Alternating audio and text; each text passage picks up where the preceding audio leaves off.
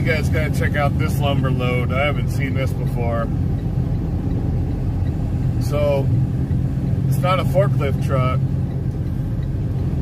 So I'm assuming he's done one delivery already. And uh, they must crane off to this truck or something.